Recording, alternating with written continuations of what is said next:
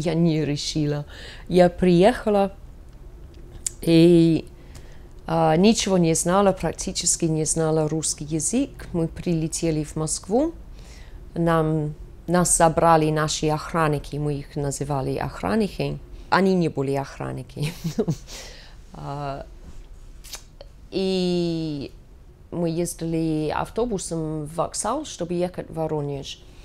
И я, это было ночью, э, февраль, значит, снег, лед, холодно, темно. И я просто, я была, я не знаю, в восторге, это не то слово, просто все было настолько интересно.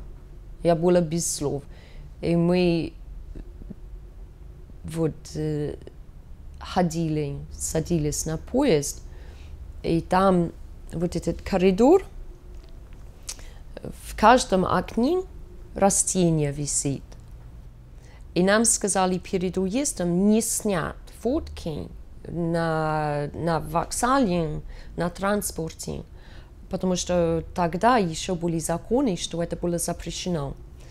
И не снять фотки, где русские, без того, что мы попросили разрешения, потому что из-за Советского Союза э, людям было неудобно, зачем их снимают, а может быть будет беда потом, что их э, наказывают за это, что они вроде общались с иностранцами.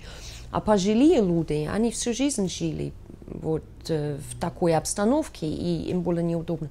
И поэтому я не сняла. Я думала, я решила, что все поезда будут такие, а потом можно, когда уже вот понимаю, как это делать незаметно. Больше никогда не видела. И это вот эти женщины, кто ездит на поездах, они вот этим занимались сами и ухаживали за эти растения.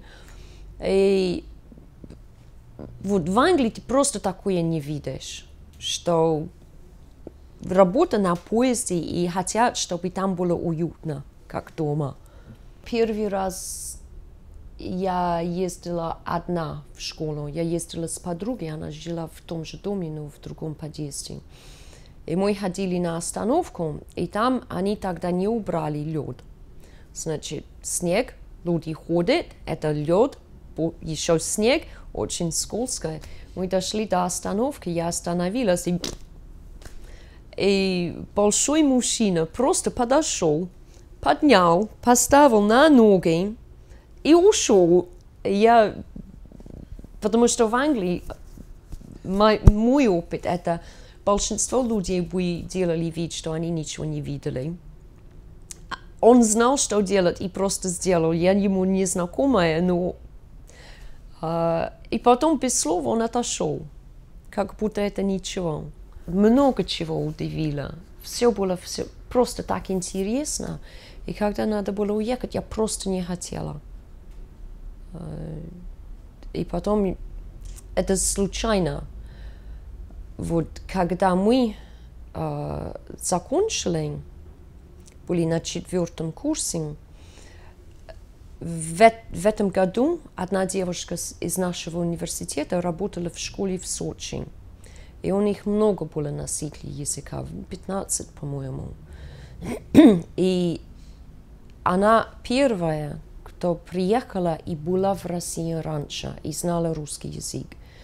И сравнительно с остальными а, она была чудо, потому что она знала, что квартира хорошая по тем временам, хорошие квартиры, хорош, ну, хорошее удобство, транспорт нет такой плохой, вот, э, работа хорошая, зарплата хорошая.